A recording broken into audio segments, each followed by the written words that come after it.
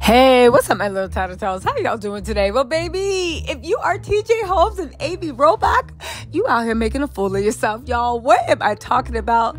TJ Holmes and Amy Robach has made their public debut. It was at, I think, the Bragman event. We're going to talk about that. We're also going to talk about what Amy was wearing. But more importantly, I guess this is the only place she, they could debut themselves as a couple since what? They've been cut off from all their family and their friends because everybody is not down with the nonsense that they bring to the table. But y'all, I gotta say, Amy Robach and TJ Holmes are shameless. There's rumors going around that they have gotten a TV show. I do not believe them for a second. I know they are looking for a TV show, but gotten, ah, I have to laugh. Y'all, let's get into this, right?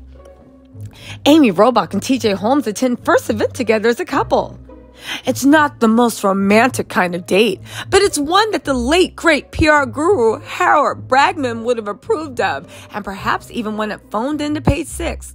On Sunday, TJ Holmes and Amy Robach left attendees of the late Bragman star-studded memorial service gobsmacked when they arrived at the at a private park where the ceremony was held in North Hollywood, California. One person said, I couldn't believe it was them. I didn't even know they were in LA. Y'all act like the Beatles touchdown. It's Amy and TJ. All y'all had to do was sprinkle some tequila on the ground and they would have popped up like Beetlejuice. Seriously. Oh my God, I didn't know they were around. If I was there, I'd be like, I did. I smelled, uh, I smelled a margarita breath from over here. Seriously, you probably just say there was an open bar. You know they would have showed up. But get this, right?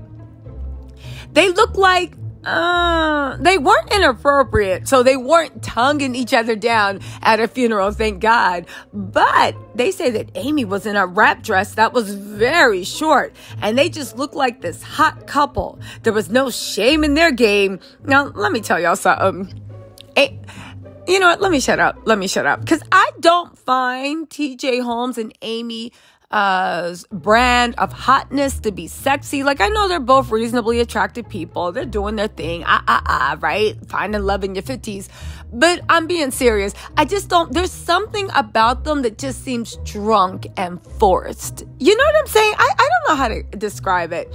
It's cringy. That's what it is. It's cringy. And not the type of cringy that's in right now. And I mean it's cringy like ugh. Anyway. You know why that was so appro- inappropriate?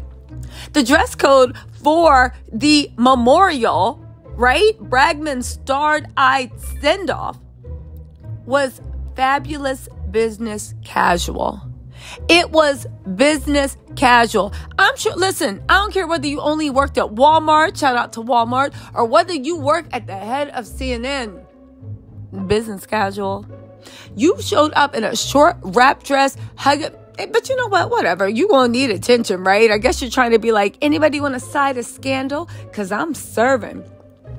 TJ was spotted in a navy suit to compliment Amy's sexy wrap dress, and they both wore sunglasses during the outdoor ceremony. I do want to say something about that, right? So Amy had on a short wrap dress. In my mind, you know TJ was out there. Have you noticed since uh, TJ got with Amy? Um, one, he's completely given up on the shape up. And two, you can tell he's not putting like Marilee's products in his hair anymore. And he's just like a CVS or Walmart or knowing him probably like, he looks like he shops at Bloomingdale's. Talking to the girl at Kiehl's when they're like, no, if you put this in your hair, it'll make your natural curls pop. Boy, if you don't go to Target and get in the black hair aisle and get something to make those curls pop, seriously, they are dry. And I feel like because he's with Amy, he's like, yo, how's my hair look? And Amy's like, oh my God, it looks so sexy. And meanwhile, Marilee's probably cackling because, again, I can tell when they split up, TJ ain't buy his own hair supplies. He just used Marilee's uh, to make the curls pop because the curls ain't popping. All y'all curly hair aficionados, y'all know what I'm talking about. Anyway, right? Back to the funeral. They said, We're told the scandalous unemployed company couple arrived maybe 10 to 15 minutes late before the service started, and despite the circumstances, they seemed extremely happy and greeted everybody with warm smiles. They were extremely friendly with everyone. Um, yeah, you know why that is? Because, like I said, it seems like they've been shut out They are person non grata, and they were so happy to be uh, invited to an event. My, how the mighty have fallen. To think that the only time that people even want you around is to say goodbye to someone and they were probably thinking about keeping them off of the list but i don't think you can keep somebody off of the list at a memorial right it's like open door policy if you come you come you know what I'm saying? So it's like they were acting like this is like their time out. Let me try to look sexy and appropriate. But anyway, they end up playing themselves. I know they had a margarita to calm their nerves. I could just see Amy being like, one more second. And TJ being like, it's showtime. Let's show them what we got. You know, smacking her in the booty like, oh, when they're going on the way out. Anyway, they said still there were a lot of people whispering. There was something electric. They seemed like a couple who's obviously in love. They were definitely attentive and aware of each other. Okay, first of all, this source sounds like it like their name starts with A and rhymes with Mamie. Amy and TJ, shut up and stop giving your own fan fiction. Amy and TJ at this point, if this is them, they sound like they are writing their own fan fiction to page six you guys, let's read this in reread this, but if, through the eyes of this is a memorial service, a memorial service. Someone died. People are paying their respects. They seemed extremely happy and greeted everyone with warm smiles. There were um there were a lot of people whispering. There was something electric. Really? Now y'all writing your fan fiction that y'all showed up in a memorial service and everybody was like, oh my God, forget the dead man. Do you see the electricity coming off of Amy and TJ? If you don't get you, mm. they seem like a couple who are obviously in love. What does a couple in love look like? I want to know because anyway, uh, anyway. They were definitely attentive and aware of each other. They came together. They are leopards. Nobody wants to talk to them. Of course, they're aware of each other. They're just like, can somebody else talk to me? Oh, no. Okay, TJ, we'll just stand here and hold hands. They're saying that Bragman was a crisis PR guru and activist who was also known primarily for his work handling LB, uh, LGT, LGBTQ stars who came out publicly. He was also a consultant for ABC News, where TJ and Amy previously worked. Don Lemon, a former Bragman client and a current pickle, contributed a video clip to the funeral to remember his late publicist.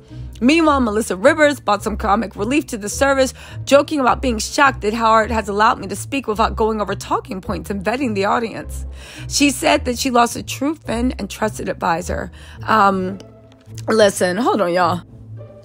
Anyway, I was trying to find a picture for y'all, but apparently, because it's a funeral, people have respect. I guess they'll pop up on TMZ tomorrow. I will say something. It's funny how when it doesn't look like uh, Amy Robach is paying or TJ is paying for paparazzi, we can't find any pictures of them. Anyway, y'all, let me know what you think of this. Are y'all buying this mess? I know I'm not. The one thing I do know is Amy and TJ are fighting like cats and dogs to make sure they secure the job of their dreams. Y'all, we'll talk about that tomorrow. Let me know what you think in uh, the comments and pray that nobody else passes away because you know Amy and TJ will show will literally turn that into a fashion show a makeup a makeup scene. Like listen it's just a mess. Throw everybody away. Let me know what you think in the comments and i will talk to you later. Bye